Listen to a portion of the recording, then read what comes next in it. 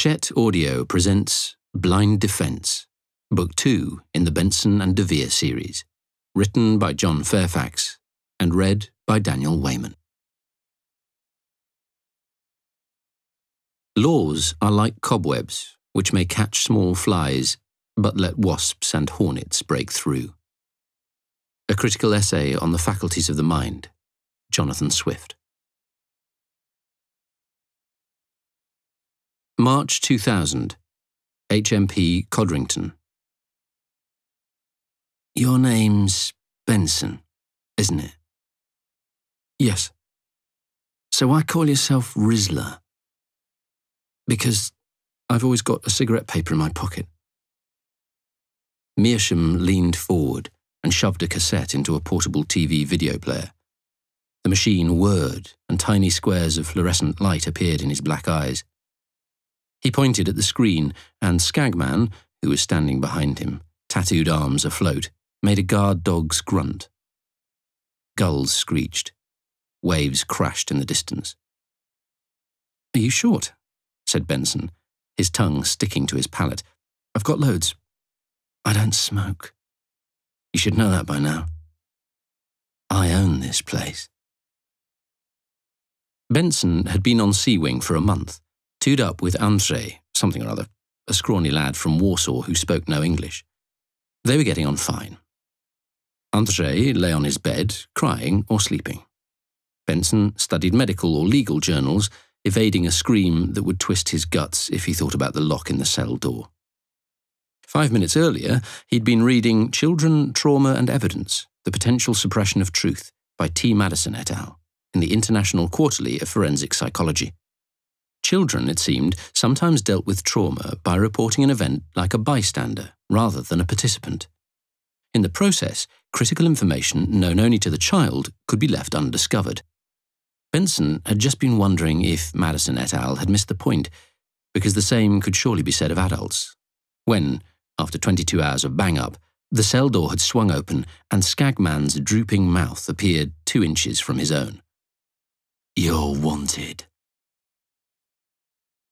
Terry Meerschaum was in his late twenties, pale and wiry, and short enough to look stunted. He was slouching on a stool, a gold dressing gown draped over his shoulders. His scrappy black beard suggested a youth trying to persuade the world he was old enough to buy his own lager, but his eyes, watchful and still, like those of a cat, glittered with experience beyond his years. What are you in for, Rizla? Even after seven months inside, he wasn't used to the word. Murder, he said. Respect, man. Respect. How old are you?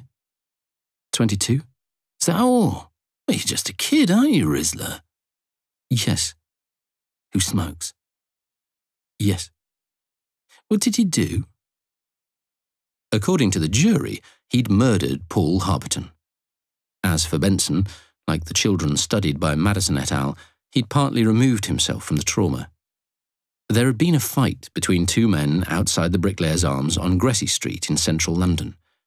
One of them, 499 days ago, had fallen to the pavement, his cheekbone fractured by a headbutt, blood pouring from his nose.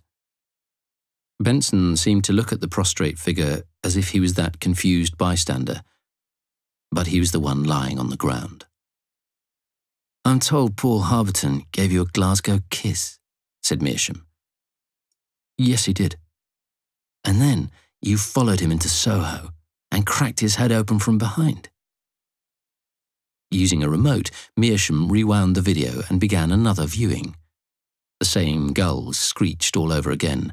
The same waves crashed on the same shore. That wasn't very nice, Rizla. Benson agreed. Skagman here always lets people know he's coming. Don't you, Skagman? Yeah, looks them in the eye. Look him in the eye, Skagman.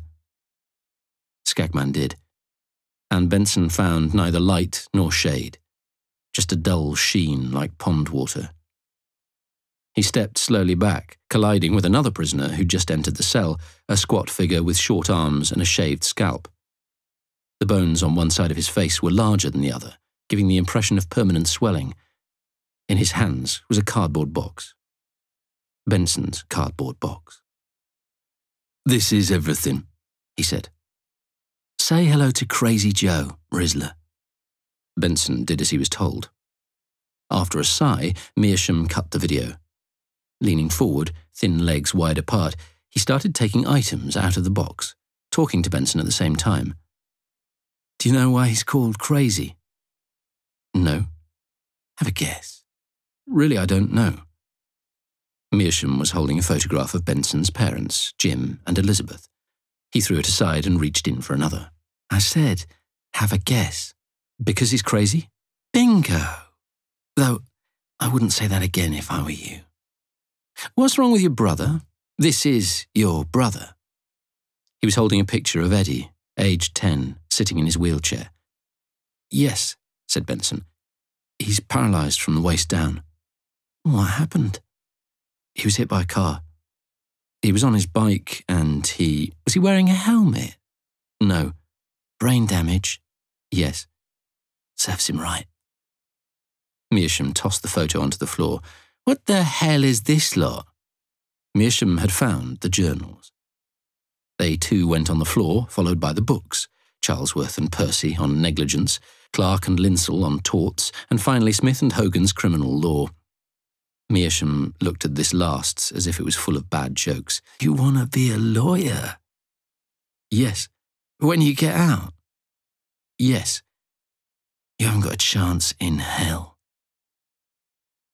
Benson's defence counsel, Helen Camberley QC, had voiced a similar opinion. So had George Braithwaite, his solicitor. But Tess de Vere, the student on work experience, had urged him to go for it. She told him to persevere and take the knocks until he'd made it back into court. Nothing can stop me, he said. Clear out the mess, said Meerschaum, not seeming to have heard. Benson crouched down and placed the photos, the journals, and the books back in the cardboard box. As he stood up, Meerschaum rose too, and slowly, allowing his gold dressing gown to slide to the floor.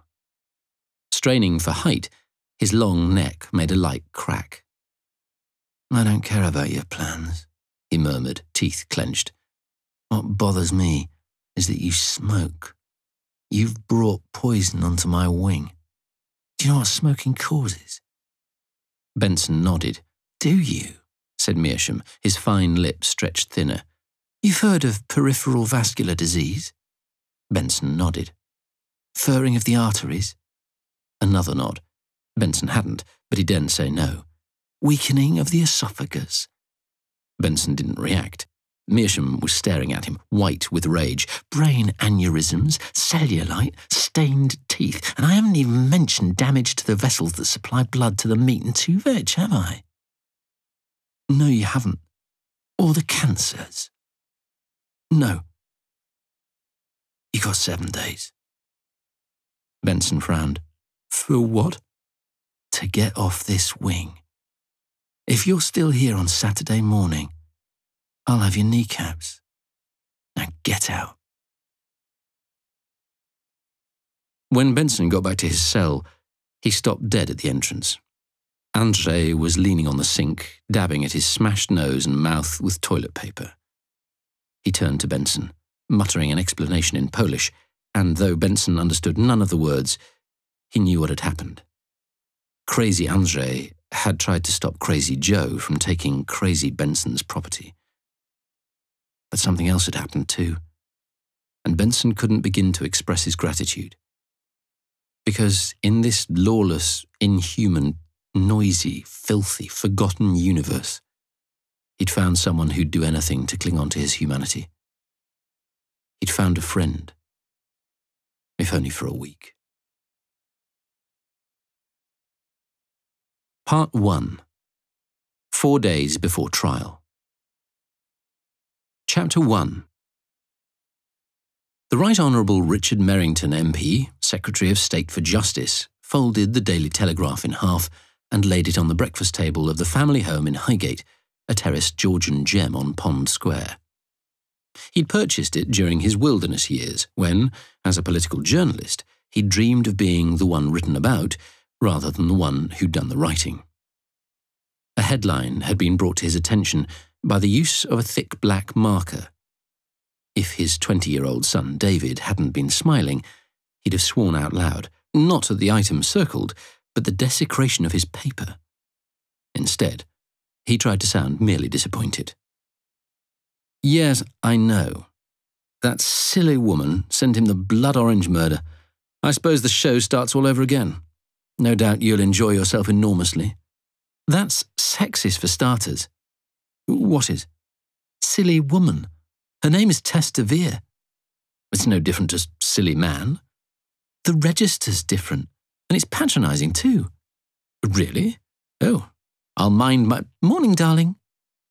Merrington's wife, Pamela, breezed into the room, stopped, swung a glance between husband and son, and said, Have you had another row?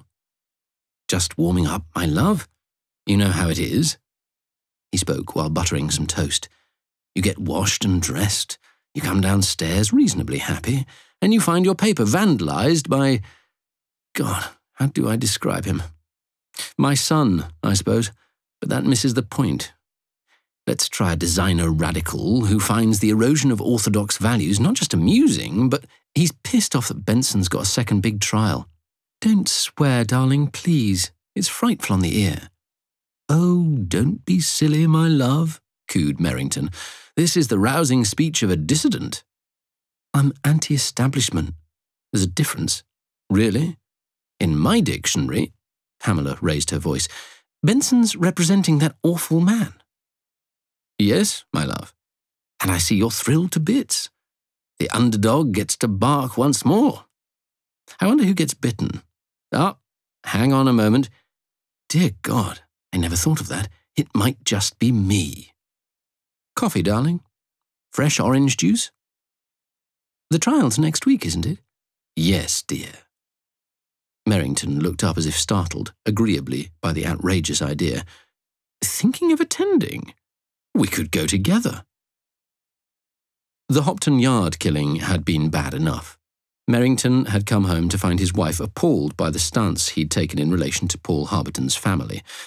His son had come home for the weekend appalled by the stance he'd taken in relation to William Benson. They'd formed a double act of indignation, which became a trinity when his mother finished reading the Church Times. None of them had remotely understood the delicacy of Merrington's position, and of course, he could hardly have revealed his various motivations because they'd been, quite simply, ignoble. The appearance of Benson, a man with a conviction for murder, defending a woman charged with murder had been, he'd thought, a godsend for a newly appointed Justice Secretary. He'd joined his voice to the public outcry. An online petition calling on him to shut the likes of Benson down had prompted him to announce the necessary emergency legislation. Who on earth would want to oppose such measures? He'd been onto a winner. He'd presented himself as a man who listened to the voice of the people. Unfortunately, though, other people had spoken out. A second online petition had appeared, this one framed in terms of redemption. It had been called Everyone Deserves a Second Chance, which had, inevitably, attracted those inclined to think beyond what they might feel. To his astonishment, in tandem with Benson's performance at the Old Bailey, the mood of the country, and even the House, had threatened to turn against him. To avoid a climb down within months of taking office, Merrington had nudged the proposed bill sideways. He'd been compelled to meet a grieving mother and her four remaining sons and tell them a promise is an elastic term in politics. We'll get there, Mrs. Harberton, I assure you. We just need to be patient, choose our moment, then strike with the sword of justice delayed. Not denied, please note, just delayed. He'd sounded as if he'd actually done something. They'd trooped out, consoled, and deceived. Thereafter, it seemed as if the gods had cut him some slack, because Benson's career had gone mercifully quiet, and other more pressing questions had occupied his ministry. The journalists had gone after other fish, and not for the first time, Merrington had been grateful for the forgetfulness of the media industry, who liked their scandals fresh, not to mention flapping. Insofar as Merrington had given the matter any further thought, he'd hoped that Benson would either tire of humdrum crime or, preferably, starve, forcing him to leave the profession. Regrettably, neither outcome had transpired. Benson's name had appeared once more in the press. This time, however, the issue was not so much the notoriety of the advocate, though that was ever present, but the tragedy of the victim. The blood orange murder had captured the public imagination. It really is an awful business, said Pamela, pouring herself a coffee. That poor woman leaves Dover and comes to London wanting a better life, and then her nauseating, jilted boyfriend, whatever he was, tracks her down and, and takes her life away. The son hadn't been so diffident. He'd drugged her, jammed a blood orange in her mouth, and then strung her up by an extension cable, hoping it would look like suicide. And it wasn't all about having been dumped. By killing her, he stood to net 60 grand from a joint inheritance. Money and bruised feelings were behind so many crimes, thought Merrington, dabbing his mouth. And protectiveness. Let's not forget protectiveness. Most people, if the stakes were high enough, would do anything to shield their family from harm, even a Member of Parliament. I feel so frightfully sorry for her, Pamela continued, adding milk. She'd been in London just over a week. She'd planned so many things. She'd bought a bike from a Red Cross shop. She'd got away from a dreadful place and a dreadful man, and there's nothing dreadful about Dover, darling, said Merrington. Well, every time we've gone there, somebody has sworn at you. Spat, darling. That happens everywhere, Mum. David's right, you know. As my reverend father used to say, foxes have their holes, and David, groaning, finished off the worn out line, but the Son of Man has nowhere to lay his head. That says it all. You think you're some kind of messiah. Merrington demurred lightly. Then he picked up the telegraph and turned to the obituaries, hoping to unearth some good ideas for his own. Do you think Benson will pull out? said Pamela, sitting down. It's such a sordid case. He can't pull out, Mum, said David energetically. He's bound by the cab rank rule. All barristers are. If a brief lands on his desk, he has to take it, regardless of what he thinks and regardless of the consequences. But the man's guilty. Merrington looked up. Darling, we've been over this. You don't know that, said David, taking back control. The Crown says they're convinced he is. It goes no further. Now they have to prove it, beyond reasonable doubt.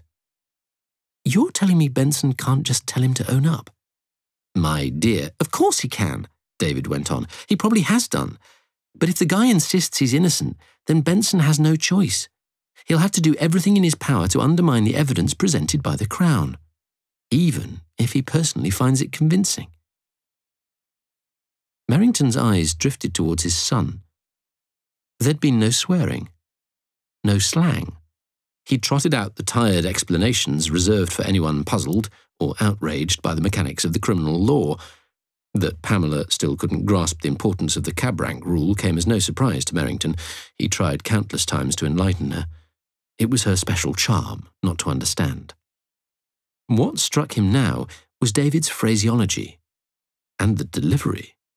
That, regardless of the consequences, sounded vaguely middle aged, possibly self important. It sounded like a quotation, as did evidence presented by the Crown. And David was reading greats. He was meant to be quoting Homer or Virgil. Merrington suppressed a smile. His son had been talking to a lawyer, probably a silk. Maybe someone seeking preferment. Well, I'm delighted to note that a vandal knows something about life at the bar. It may have escaped your notice, David, but the administration of justice is my remit. Haven't you told your father? said Pamela. No, not yet. Well, you must, she enthused. Go on. David had the same jet black hair as his mother, only his was longish and tangled, while hers was short and neat. They had the same fine eyebrows, the same soft mouth. But David possessed his father's mind, by Merrington's humble judgment, sharp and clean, along with his appetite for unsettling the complacent, though he was yet to discover the true pleasures of causing outrage. A friend of mine's mother is a barrister, he began. We went to watch her in court. And? It was incredible. I met her afterwards and we talked. No doubt she recognized your surname. I kept it back. What on earth for? It's a distraction. David used the word as if he meant embarrassment. He shifted in his seat. I'm thinking of coming to the bar after Oxford. To conceal his delight, Merrington pretended to finish reading a sentence. Not a bad idea. This was promising. For once they were speaking the same language. Until now, when considering future employment, David had spoken of homeless charities, revealing that engaging moral alarm which he shared with his mother. Rashly, Merrington had praised the impulse but questioned the potential outcome, the underuse of his talents, which hadn't gone down well at all. Why? Because he denigrated the marginalised and those determined to help them. Merrington had been nonplussed. He loved Ralph McTell, so this talk of the bar came as sweet honey from the rock. An appealing sincerity had settled upon David. I enjoy the argument, he said. I'd noticed. And there's always something in the balance. It's serious. Win or lose, it matters. Merrington feigned casual support, but mentally he was thinking of his grandfather's wig. It would be Merrington's gift to David. The imagined ceremony, a father and son moment in the drawing room, almost made his voice crack. I've numerous contacts at the bar.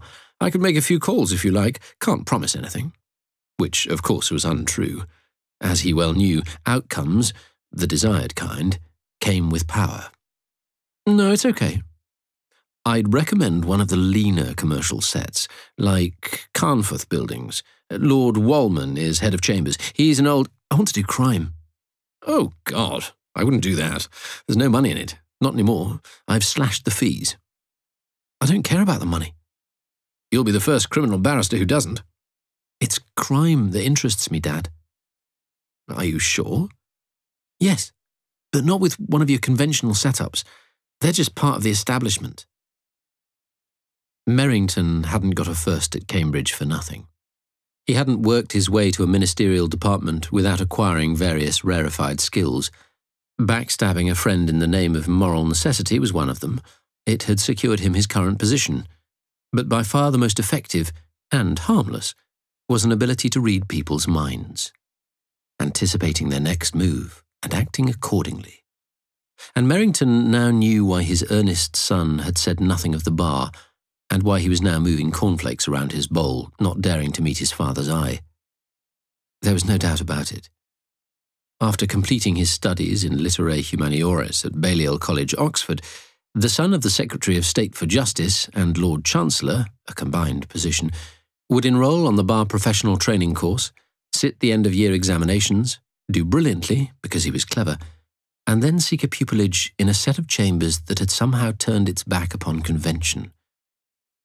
Merrington only knew of one, and it only had one member William Benson. Don't forget the homeless too quickly, David, said Merrington, as if he glimpsed a light. They too need advocates. When Merrington got to Petty France, he sat at his desk, looking at the chairs that had once been occupied by the Harberton family.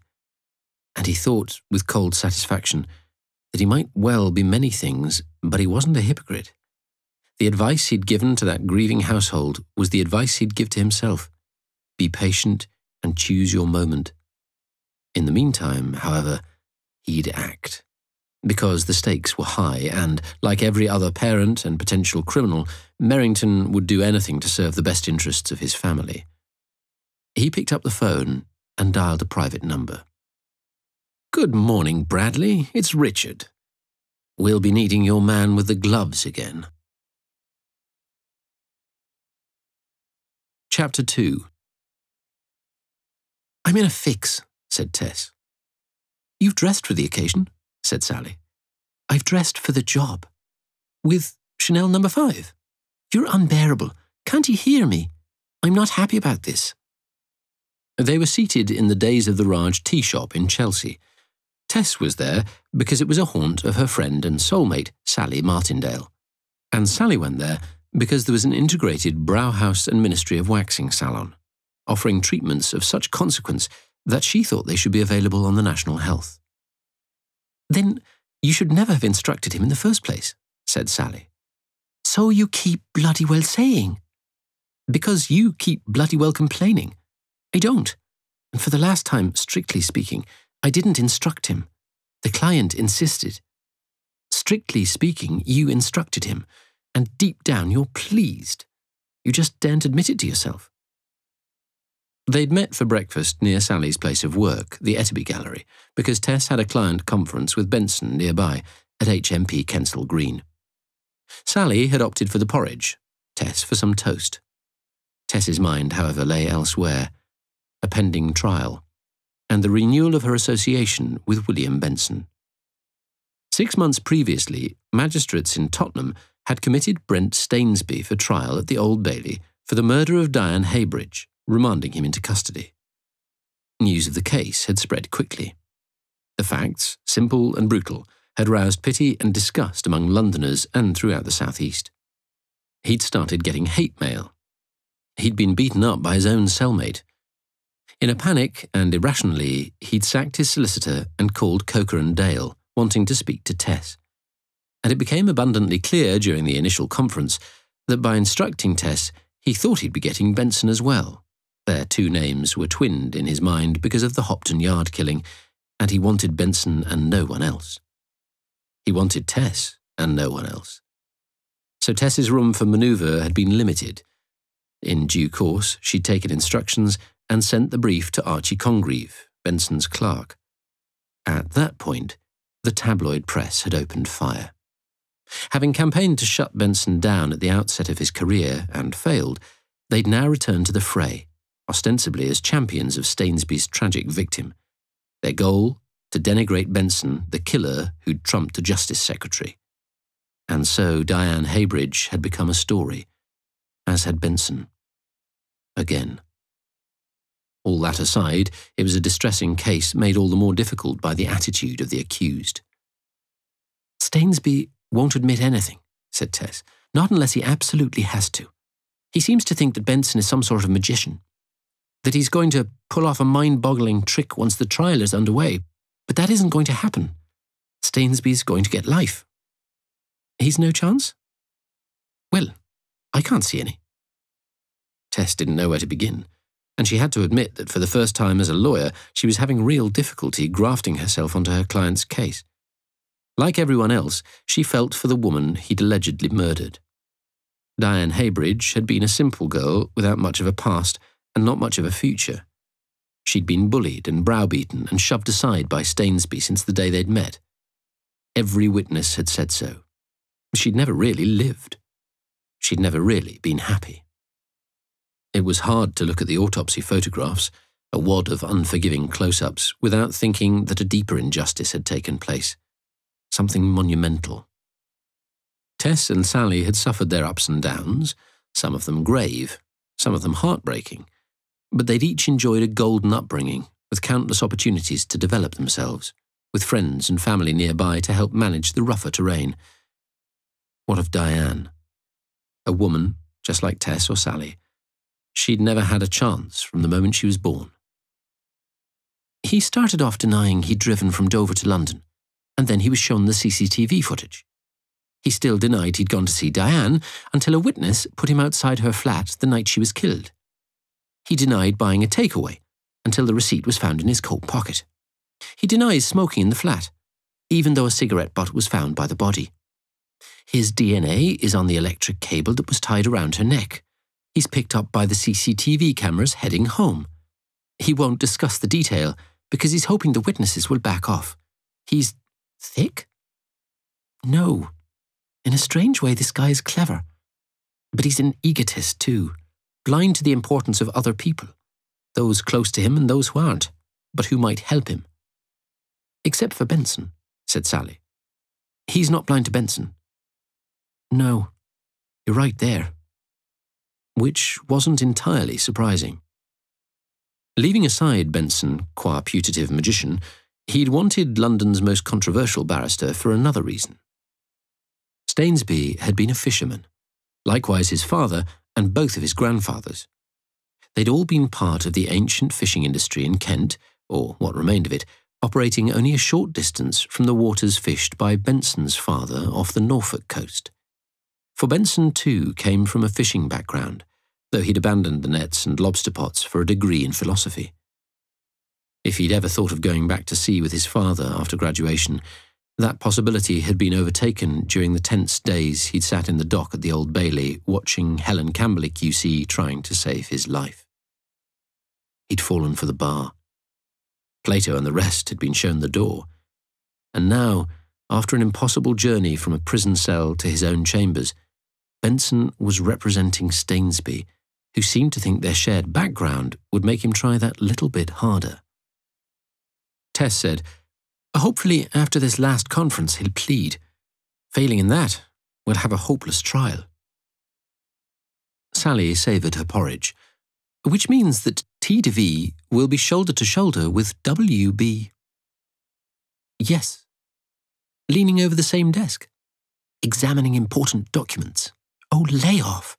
Sharing an awful journey. I can't bear it. He's dark and dangerous and demonized. What more do you want? God, you're tiresome. And he's got a boat.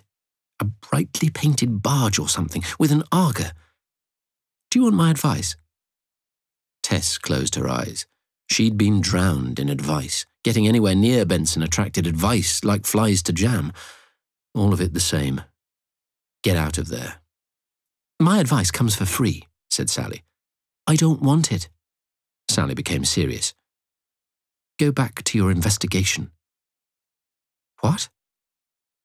This sudden shift from mischief to gravity was Sally's modus operandi.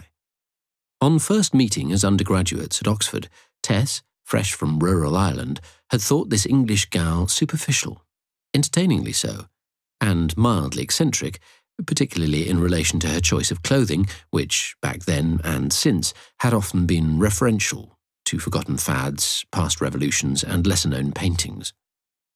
Everything she'd worn had prompted a question, and Tess had asked them, which had been the beginning of her enlightenment.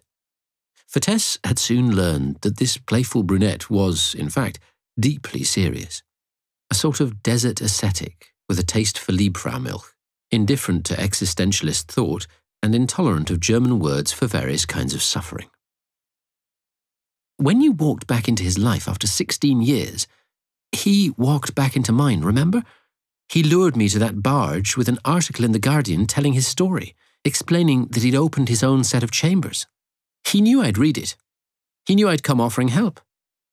And you offered help. You needn't have done. You walked back into his life, and you remained there on one condition that you'd find out once and for all if he was innocent we were getting somewhere, Tess, and you're only in a fix because you don't know the answer. Sally seemed to shift position. Her voice, with its crisp respect for consonants, became ponderous. He told you that he didn't kill Paul Harberton. He told the world that he did, and he said he only lied in order to get rehabilitated, because that was the only way to come to the bar, where he could fight the good fight with people like you. She paused to sip her Darjeeling. I wonder where the truth lies. If you knew the answer to that one, you wouldn't be sitting here wringing your hands. Uh, your cuticles are advancing, by the way. You'd be on that barge.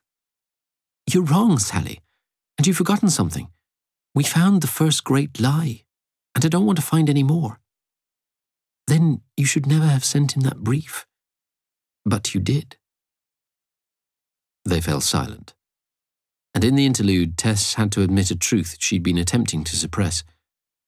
Quite apart from any issues of trust, she wanted to watch Benson in court again, hear the change in his voice, feel the electricity in the air. Stainsby will plead next week, she said sharply. I'll go my way, Benson will go his, and our investigation into his trial remains closed, okay? Indubitably. Sally finished her night runners of Bengal slow acting porridge, and Tess her Maharaja's toast. There wasn't much else to say. Tess parked her cherry red 1964 Mini at the mouth of a street near the green. She then walked to a huge dented door in the prison wall where she'd agreed to meet Benson. This entrance was for legal visitors only. Graffiti climbed up the metal door, spreading over the bricks on either side. The gateway to hell had to look something like this. Even now, after so many years, she hated prison visits, passing from an ordinary street into the constant noise and that awful smell that she somehow associated with rotting food. Tess checked her watch. Benson was late. Looking around, she adjusted her velvet hat. She bent over to give her new shoes a rub with a tissue. She came upright and felt oddly exposed. And she wondered where Benson might be. Chapter 3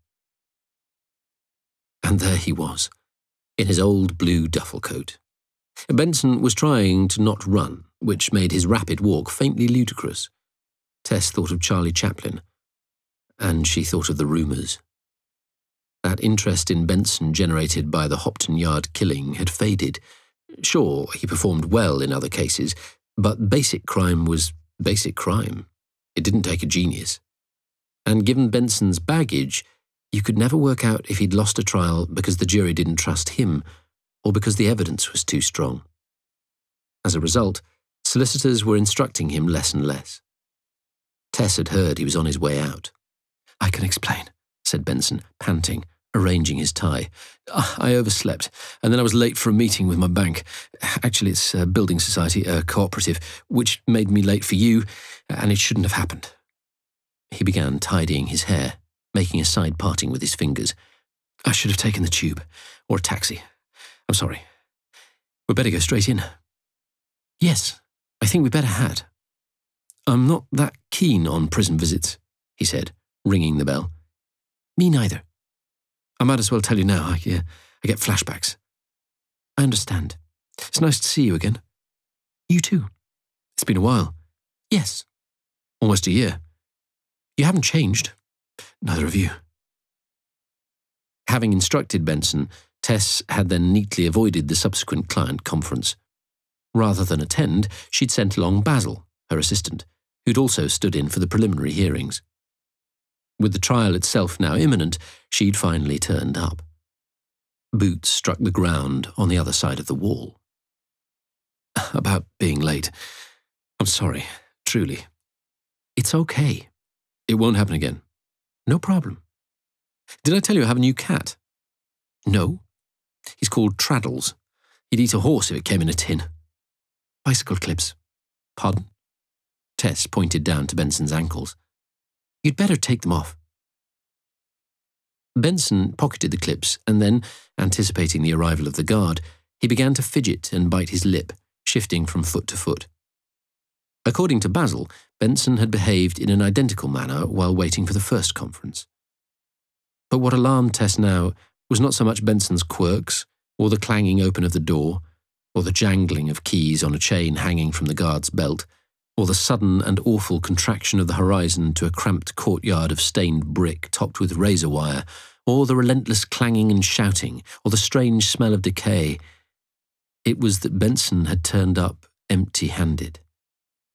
He'd come running without the brief or any means of taking notes. Tess watched Benson expectantly. He was seated, eyes closed, breathing deeply, not even trying to hide his panic. He winced at every noise. Perspiration gathered on his brow. He was trembling. And then it happened, just like Basil said it would. As the door handle moved, seconds before Brent Stainsby entered the room, Benson opened his eyes and became a totally different man. Take a seat, please, Mr. Stainsby, he said, nodding towards a chair bolted to the floor on the other side of the bolted down table. Stainsby, however, could barely contain himself. Still standing, anonymous in grey jogging bottoms and maroon t shirt, he tipped out words that no one else would listen to. You've got to get me out of here. People have knives. There's a stabbing every week and there's drugs everywhere. The screws are scared to hell. The place is run by gangs. They gut you for a burn. A headbanger killed himself two days back. There's still blood all over. Please sit down, Mr. Stainsby, said Benson. We've a lot of ground to cover. The trial is going ahead, and this time you have to answer my questions. From the beginning, Stainsby had refused to give detailed instructions. Foolish and suspicious, he'd been holding out, hoping the Crown would drop the case. But they hadn't. Didn't you hear me? he growled. I did. Take a seat. Stainsby didn't move, so Benson relented. I understand you're on the numbers. Rule 45. Yeah? So what? I'm still at risk. You've been segregated. You're safe. I'm not safe anywhere. You've got to get me out. I've been warned. Someone's out to kill me. Then you'd better remain on the numbers. In my day, we called it cucumbers. Have you heard of that one? I want out. The place is going to explode. Tess smiled reassurance, but inside she regarded Stainsby with dismay. He was heavily built, with sloping shoulders. His hair had been recently clipped, leaving black bristles over his scalp. His mouth hung slightly open. He looked brutal and stupid. Pointing with authority at the chair, Benson said, I can't get you out. That's up to the jury. If they don't accept what you say, you'll spend at least 14 years in places just like this, some of them worse. If you plead, you'll get credit from the judge, which means less time inside. Have you given any thought to our last? I'm not pleading, okay? Because I didn't kill her. Look, I've told you, Diane was weak, weak in the head. Stainsby was tapping his skull with a thick, dirty finger as he sat down. She topped herself, okay? She was on all sorts of tablets and she overdosed and she hung herself. It's simple. If only it were, Mr. Stainsby. Stainsby made a guttural noise like a trapped animal. I didn't kill her, Mr. Benson. What else can I say? I'm not clever like you, all right? I can't think up any arguments and reasons. I can only tell you the truth. Well, that will help a great deal, said Benson. Why did you deny going to London? Deny seeing Diane? Deny bringing her medicines? Deny buying a takeaway? Deny. Because they were after me. The pigs weren't listening. The pigs being the police? Yeah. Who else? As soon as they arrested me, it was all over and done with, like the Birmingham Six. They wouldn't listen to anything I said. It's not what they say, Mr. Benson. It's how they look at you. It's how they speak to you and I could tell they were going to put me down for this one, even though I had nothing to do with it. But why lie? I was scared, right? I didn't want to tell them anything because they were after me, okay? They, I assume, is DCI Goodshaw? Yeah, and his mates. They came to Dover on the Sunday, the day after they'd found the body, okay? Did they say, We're sorry to tell you your girlfriend's dead? No. They looked at me like I was dirt and searched the bloody flat. They decided I killed her before they'd even met me. That's why I told them nothing, not a damn thing, and now they're using it against me. I told them, and I'm telling you, it's suicide. Diane was weak in the head, it's simple, they want to pin it on me. Tess wrote down all these replies, but she wasn't really listening.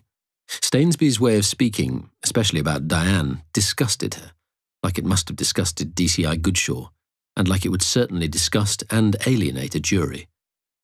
Tess glanced at Benson. He was concentrating fiercely. Tell me about Diane's mother, Rosie Heybridge. She's a cow. Why? She never liked me. Why? Because of my mum and dad. To be clear, you're talking about Caroline and Frank Stainsby. Yeah. I don't understand why Rosie would dislike you because of your parents. Because Diane was close to my mum. And when she died and my dad went to pieces, Diane was there for him. They'd have a curry every Friday night. Rosie was jealous. She took it out on me. Benson nodded, as if he'd jotted down all the details. He seemed to turn a page in his mind. What about the Dover Five? a bunch of women. That's not especially helpful. Diane's friends. They've all been left on the shelf. With Diane gone, there's only four now. Yes, I suppose there are. That would be Samantha, Angela, Kathy, and Jane, yeah. Did you get on with any of them? No. Why? They were jealous of Diane. Because Diane had a fella. Me. It's simple. I see. Were these close friends? Well, she saw them every Saturday night. Was Diane closer to any one of them in particular? Yeah, Jane Tapster. Best friend since they were 13, weighs about six tons. She's the biggest loser of the lot. Benson assumed a Mandarin calm, but only for a moment. The severe attention to detail soon returned. But not for Diane, he insisted. For Diane, Jane was special. Yes, I suppose so. They both worked at Greggs. They'd see each other on their own sometimes, you know, apart from going out as a fivesome. Listen, you've got to get me out of here. Even the screws are scared. They're not in control. There are drones bringing in drugs as if they were pizzas. You just. I can't help you in prison. I can only help you in court. Your father died on the 31st of July 2015. The will was read out by Mr. Hargreaves, your solicitor, on the 12th of August. Was that the first time you'd heard about the Aviva life insurance policy? Bloody right. My dad never mentioned it. Diane had been left your mother's jewellery, too. Yeah. The payout on the policy was £63,400. Your dad wanted that sum divided equally between you and. False! Stop right there! Stainsby had squared his shoulders. We don't know what my dad really wanted because when my dad signed that will, me and Diane were together. An item. She left me that night, the night she found out about the bloody money. And so you went to see Mr. Hargreaves the next morning, the 13th, and said, I'll do time before she gets anything from my parents. Yeah. And he explained that legally, Diane was a beneficiary and you couldn't prevent her from receiving the bequest. Yeah, that's right. On the 17th, an altercation took place at Greggs, Diane's place of work. You made a scene and said, You won't see a penny of that policy, and you will never, ever wear my mother's jewellery. Sounds about right. The police were called. You were arrested and given an informal warning. Yeah, I was told to keep away from Diane, and I did. Friday, the 18th of September, a month later, probate comes through. When informed by Mr. Hargreaves that the policy can now be paid out and that Diane is entitled to a half share, you say, I'll choke her first. Correct? Nah. And if I did, I didn't mean it. I was off my head. Benson nodded. He introduced a new topic. Stainsby's Seafood Locker Limited.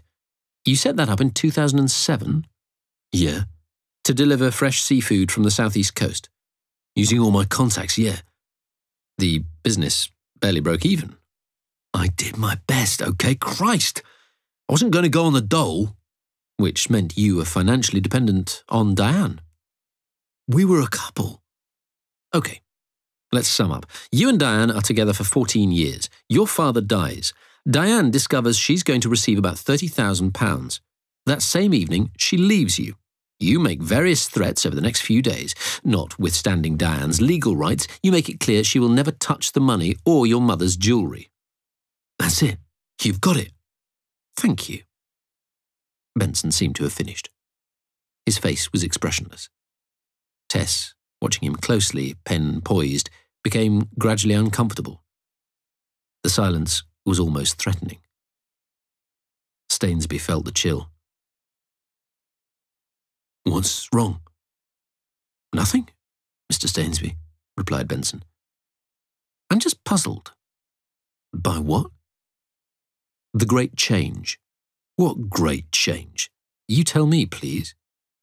What happened between 10:15 a.m. on Friday the 18th of September when you told Mr. Hargreaves that you'd do time before Diane received anything, and 11 a.m. on Monday, the 28th of September, when you turned up at Mr. Hargreaves' office saying you'd had a change of heart. Not that the change would make any difference, because the money and jewellery would have gone to Diane anyway. That's eight days. Give me the explanation. I cooled down. It's simple. No, you didn't. You're still angry now. I'm angry because I've been banged up in hell over this business. I'm angry with Diane for killing herself and putting me here. You went to see Mr. Hargreaves for another reason. And what might that be? You wanted Diane's address, and he wouldn't give it to you. Stainsby was leaning forward. His eyes were bloodshot, his skin moist and pale. No, he wouldn't. And so you went to Kathy Dawson, one of the Dover Five, and you told Kathy that you wanted to make up with Diane, but that it was all to be a secret.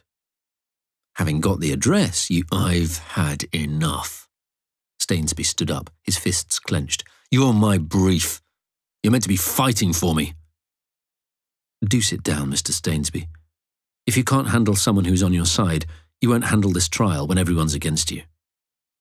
Take a deep breath and answer my questions.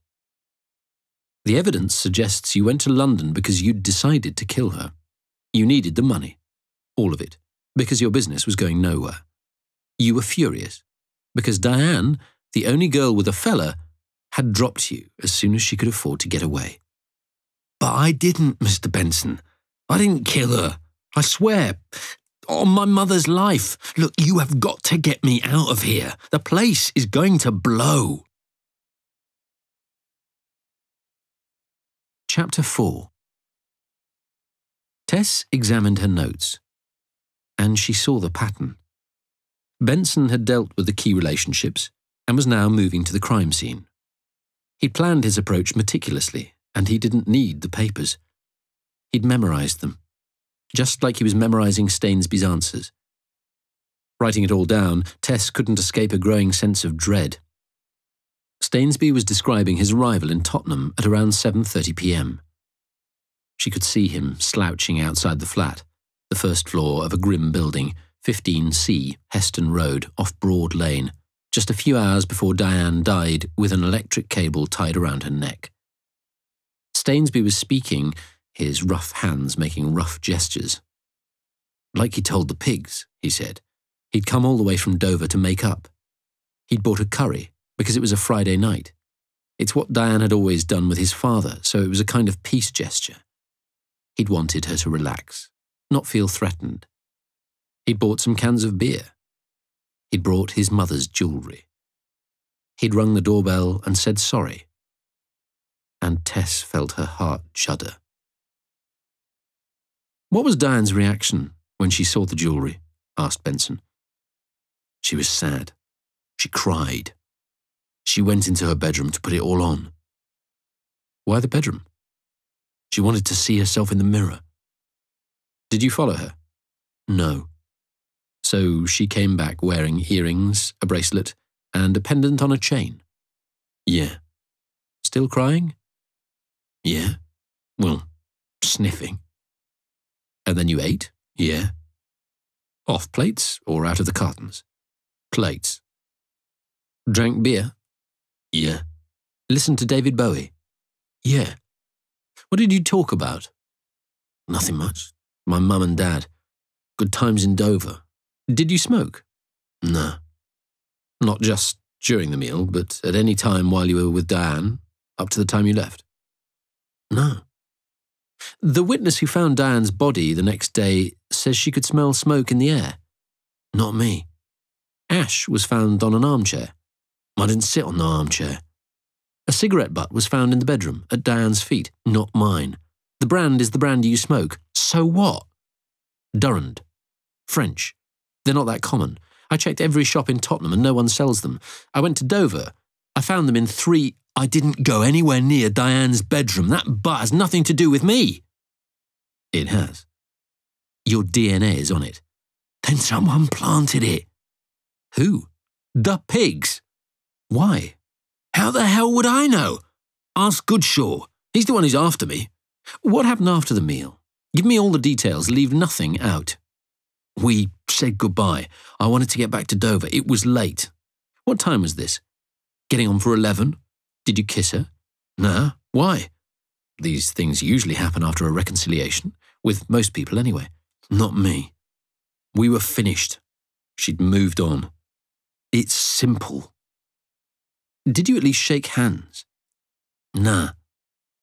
Can you explain how two of your hairs came to be found on her cardigan? No, I can't. Or one of them on the inside of the sticky tape wrapped around her wrists? Sorry, no idea. Did you sit on the armchair nearest the window?